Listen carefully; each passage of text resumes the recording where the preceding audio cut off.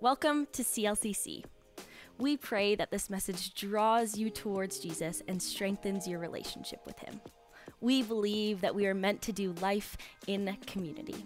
If you live in the Fraser Valley area, we would love to get you connected into the family.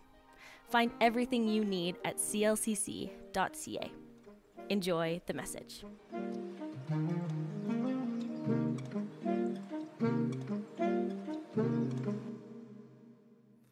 This morning, we're concluding our series called Followers. This has been a discussion of what it looks like to live as the disciple of Jesus. We've talked about how followers are called, how they must count the cost. They go, they rest in God's presence, and they persevere. Today, we're looking at the fact that Jesus' followers are transformed. When I was young, someone came up with the idea of a creature that changed from one thing to another. Okay, the idea probably wasn't new, but the packaging and marketing was. You may have heard of them transformers. These creatures would change from one thing, like a car, into a robot or something like that. There were toys and then movies based on them. And for kids, they were kind of fun and interesting because the ability to change from one thing to another is pretty amazing. For most people, even adults, the idea that we could change when needed does sound exciting. There are times when being someone or something different than you currently are would be pretty helpful. Maybe you want to be stronger or smarter or an extrovert or a better parent. If you could do that without having to go through any hard work, that sounds pretty good. We like the idea of a quick, easy transformation, don't we? Unfortunately, the reality is, that as much as we may want to, we don't have the ability to transform in these extreme ways. And yet, we all grow and develop. Children become adults through some serious transformation.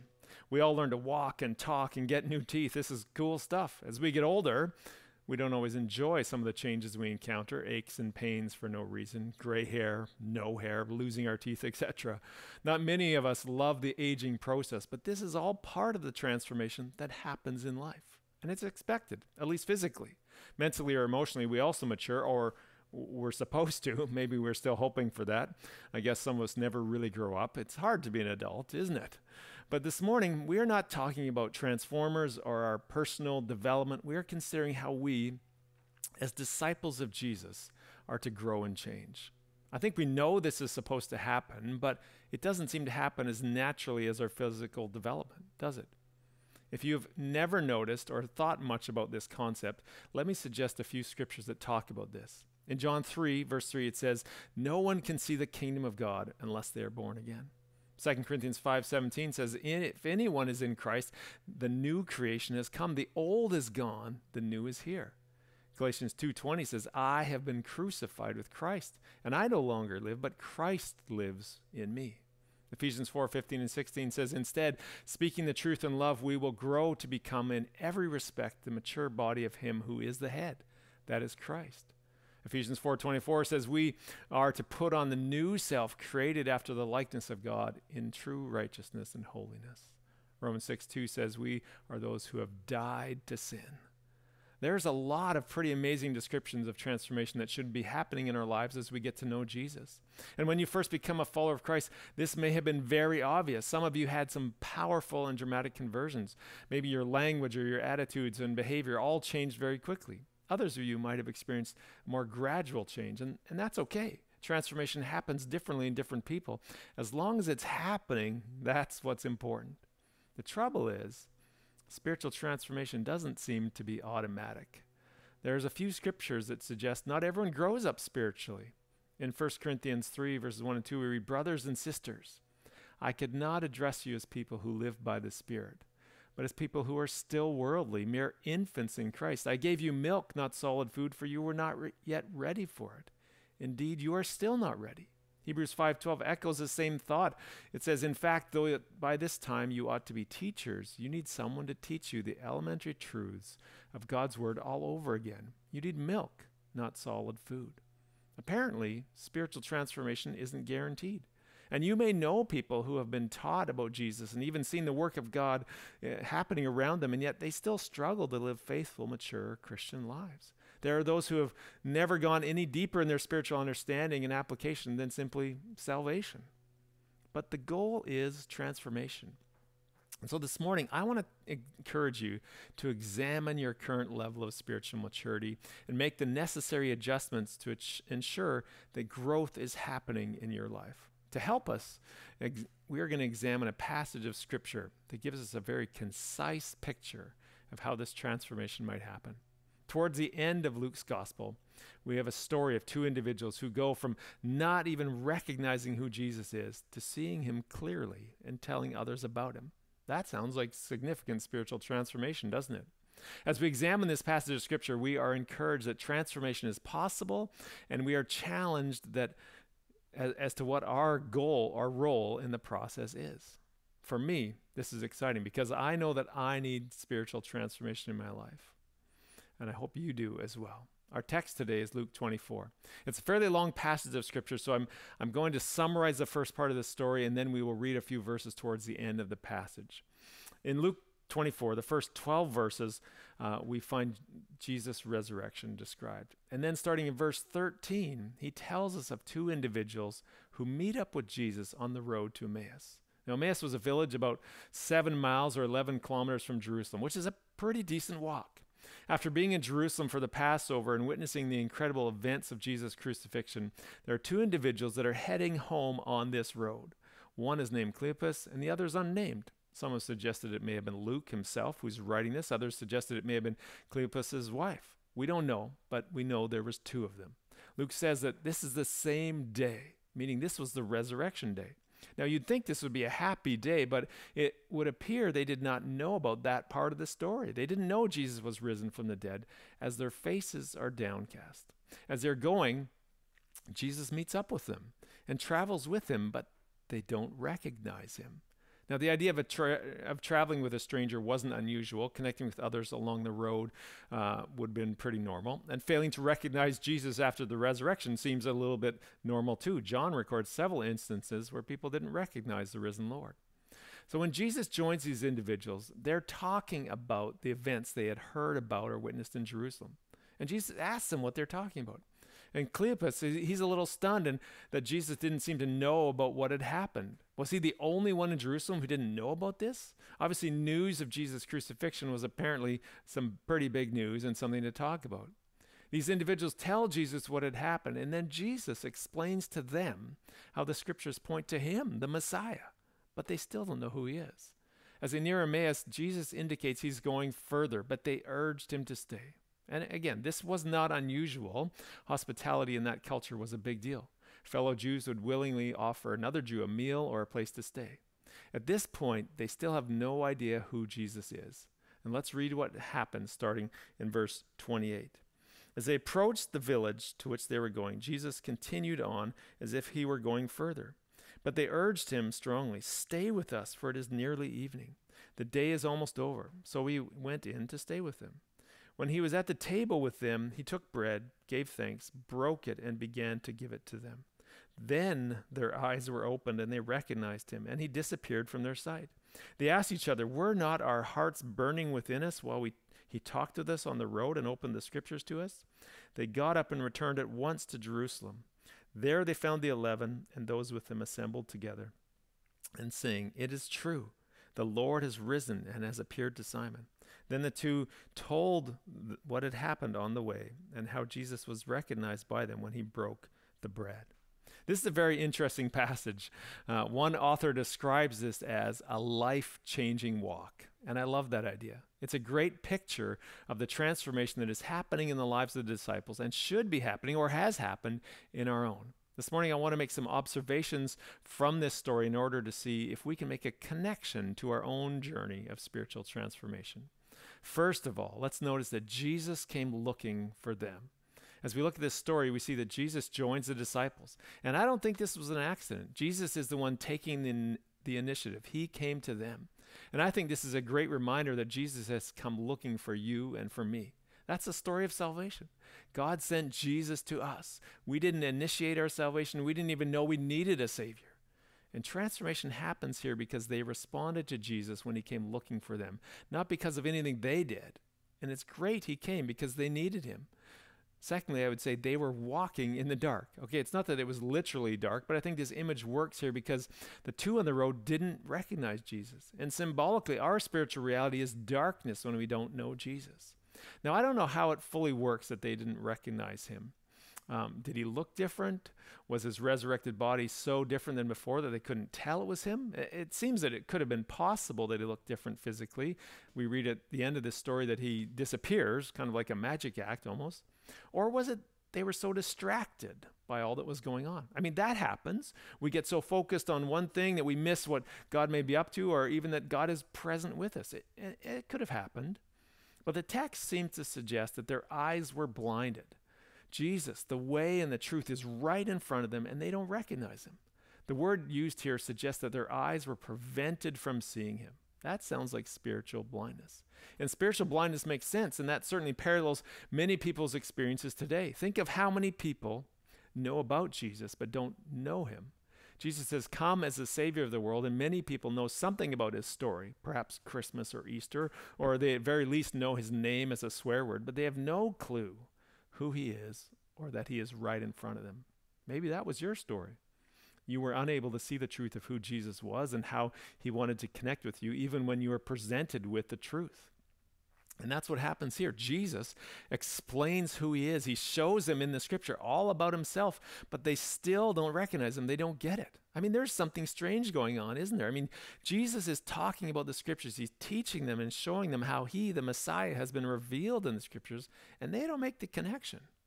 We often try to boil our faith down to facts and logic, which are important. But don't forget, there's a spiritual dimension to our faith, which means until our eyes are open, we don't get it. We don't see Jesus. We don't understand. And that's a tough spot to be in. But there's hope. What we see here is that the desire to know more about Jesus and be with him was stirring in their hearts. They were curious. Something was growing within them, and they didn't fight it. They didn't ignore it. They let their curiosity get the better of them. Now, there's a saying curiosity killed the cat. And curiosity can get us in trouble, especially in an age where there's so much information available to us. So we do need to be careful. But when the Holy Spirit starts stirring something within us, we need to respond and let that lead us to Jesus. Anyone who has walked this spiritual journey of discovery knows that at some point something stirs within you. You want to know more. You want to be with Jesus. You, you want to go to church. You want to read his word. That is a spiritual hunger. And let that rise up within us. Here are the two on the road.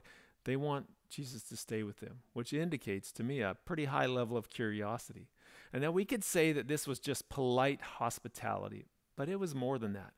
The words used in our text are they urged him strongly. And the Greek word behind that actually means to force or to compel or to persuade. And that means this is not just a polite ask or a slight suggestion. The image is almost like they forced him.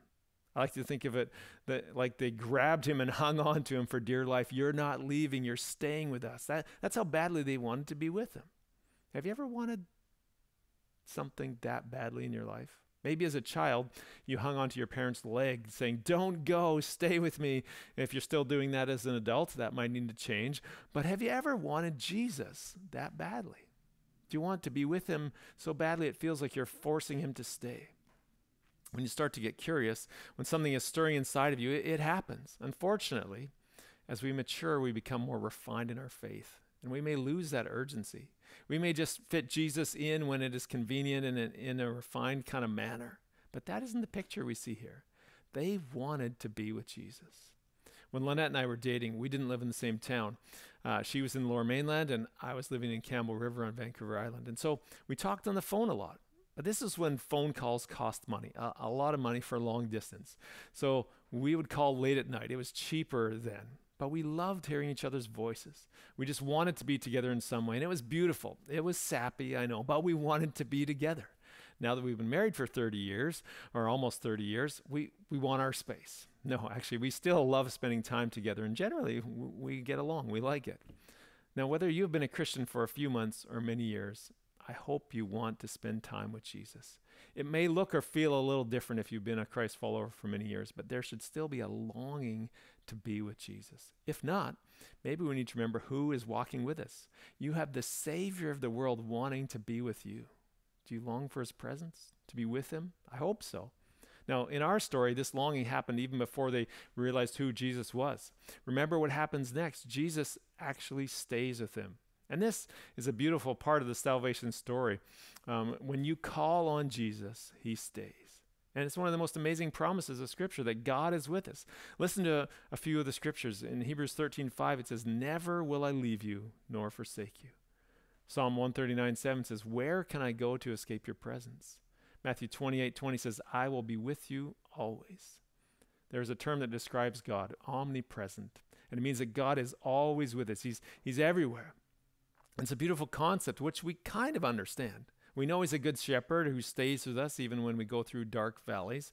And we, we know this, but sometimes we lose sight of the personal nature of God's presence, that he is with us today, right now.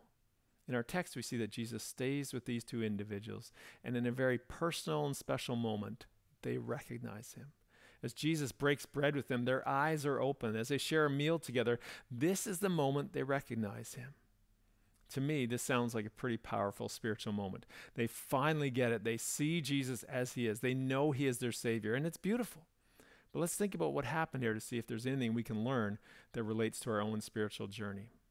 Notice that Jesus took bread, gave thanks, broke it, and gave it to them. The language is very similar to the language of communion, isn't it? This is the language Jesus used at the Last Supper and is also similar to that uh, used by Luke and Matthew to describe how Jesus fed the 5,000. So, depending on who these individuals were in this story and what their connection to Jesus was, this situation might have seemed a little bit familiar to them and reminded them of Jesus. But I think it's more than that. I think the fact that Jesus takes the initiative in serving them is very significant. It might sound normal to us because we know who Jesus is, but remember, he is a guest in their home. They should have been taking the food and blessing it and handing it to him. For someone looking in on this situation, it might have seemed a little bit strange. But Jesus knows who he is, and he takes on the role of the giver, and they submit to it. It is the right way things should be done when Jesus is in the room. For us, this is important. This is the way of God's kingdom. When we start with a posture of surrender, submission, and we accept the life giving nourishment from Jesus, our eyes are open. This is a great reason to celebrate communion. We're reminded of his life giving power. We're reminded of his presence as the risen Savior with us at this very moment. And as we celebrate communion, we pray that our eyes will be open again to the power and presence of God at work within us and all around us. In retrospect, these disciples knew something was going on. We read that they felt their hearts were burning within them. Something deep inside was stirring as they hung out with Jesus. This was a deeply spiritual moment. Jesus teaching them from the scriptures combined with their eyes being open. I mean, this is wonderful. Has it happened to you? Has your heart connected on a deep spiritual level with your Savior? Have your eyes been open to the truth of who He is? If you are a follower of Jesus, I hope so. When your eyes are opened, something amazing happens transformation. Things changed. Luke tells us that after their eyes were open, they got up at once and went back to Jerusalem. Now, remember, they'd just gotten home, and it was a decent journey, probably three hours long or so. And so to turn around and head back was a little inconvenient, but they had to tell the disciples. What started as a depressing walk home turned into a victory celebration. When they got to Jerusalem, they found the eleven and told them what had happened. They knew Jesus had risen from the dead. Now, clearly, these two were connected with Jesus and the disciples. They should have recognized him, but they didn't. And yet, once their eyes were open, things changed. They couldn't keep it quiet. And that is the power of an encounter with Jesus transformation. Within an afternoon, a three hour walk, they go from downcast and distraught regarding the death of their Savior to encouraging others about his resurrection. Their eyes were open they were forever changed. Now, I get this was a fast encounter. But as I said, this gives us a picture of what happens when we encounter our, our, Savior. It doesn't always happen within three hours or over a meal. For some, this may take months or years, but when our eyes are opened, it's amazing. Now, there's two areas of application I want to highlight. One is for us personally or corporately as a church, and one is for those we are praying for to discover God's goodness. First, our personal journey of transformation. I think we need each we each need to consider where we're at on our journey of transformation. My hope and prayer is that we have all encountered Jesus in such a way that we have had our spiritual eyes open, that we've come to know him as our Savior. But if you have not, this is a great day to surrender to him and discover the life he has for you. Now, my guess is that many of you have had that experience with Jesus. Some of you are longtime believers, and you may wonder, what's the application for me? Well, here's the challenge. Even if you are a long term believer, You may need a fresh encounter with Jesus. You may need to surrender to Him again and let Him open your eyes to discover all He has for you. In our story th- this morning, these individuals were not what we would call unbelievers. They knew the disciples, they knew Jesus, they had no doubt seen miracles and heard the teachings of Jesus. We know that because our text starts by saying two of them, referencing disciples. Further, it says they recognized Jesus, they had a previous connection with him. And then they had great hopes for what Jesus would do. And so when he was crucified, they didn't know what was happening. And this presents us with, if we're longtime believers, with a challenge. Will we continue to live with humility and surrender to God, especially if we've lost hope in what God can do, or if we are discouraged by what we see around us? That was the state of those on the road to Emmaus. Their world had come crashing down. But as they spent time with Jesus and surrendered to him, their eyes were open. They saw new possibilities. In James 4 6, it says that God opposes the proud, but gives grace to the humble. And this text illustrates that. When the disciples let Jesus lead, even when it wasn't normal, their eyes were opened. For us, will we let Jesus be in control, in charge on our turf, in our homes, in our workplaces, in our relationships, in our recreation, or with our money, the places we normally want control? We need to let Jesus be in control. Well, we surrender to his ways, his plans, his lordship, personally and corporately as a church. Together, we need to let Jesus lead us and guide us. And if we can do this, we discover that He continues to change us, our attitudes, our perspectives, and we interact with one another in a much more godly way. God wants to change us, and He will if we let Him be in charge. The second area of application here is that this account gives us a picture of the journey our friends or loved ones may be on if they have not yet come to faith. Maybe you've been telling them about Jesus, but they aren't getting it. Just wait. Let the Holy Spirit stir some spiritual curiosity in them. Maybe they are curious and interested, but their eyes just are not open. Well, let the Holy Spirit do his work and participate with the Holy Spirit. And we do that by representing Jesus well. When they look at us, do they see Jesus? Remember, actions speak louder than words. When things are stirring in their hearts, let's encourage them to surrender to Him in greater ways. This morning, I want you to know that transformation is the goal. God wants that for you, he, and, and we need it. It should be happening, or maybe it has happened. Or perhaps you're feeling a little bit stuck. And if you are feeling like nothing is happening or nothing ever will change in your spiritual life, remember that with God, all things are possible. Nothing is impossible with Him. That's the core of the gospel. The dead can rise, the broken can be restored, the impossible is made possible through Jesus. In your life, do you need this reminder that change and transformation is possible? Maybe you've lost hope. Maybe you've given up. If that is you, remember that Jesus is not only able to change your circumstances, he can change you. Your deepest and strongest and seemingly unbreakable habits and behaviors, God is able to bring transformation to you. And if God can change and transform you, God can change and transform those you're praying for. I want you to leave here today knowing that change and transformation is possible in your life and in the lives of others. Let's pray that happens. Let's make sure that happens in us, but let's pray for that in others. Let's let's surrender, let's give up, let's let him be in charge and let him lead. Amazing things happen and amazing things are possible when we walk in surrender to him. So, are, are you experiencing the transforming power and presence of God? Are you praying for that in the lives of those around you? 2 Corinthians 3:18 says, "We all with unveiled faces contemplate the Lord's glory, are being transformed into his image with ever increasing glory, which comes from the Lord, who is Spirit. Transformation is the goal, and it's possible with Jesus. Let me pray for you as we conclude today.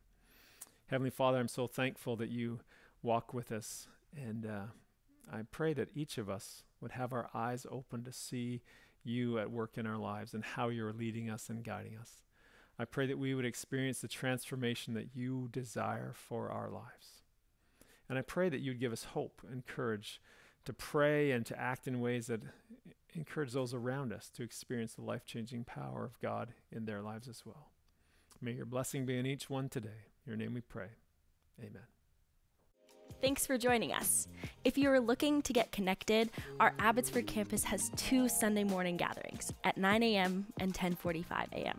We would love to see you at one of our in person gatherings. If you would like to give financially, you can always support us online at clcc.ca/give. See you next time.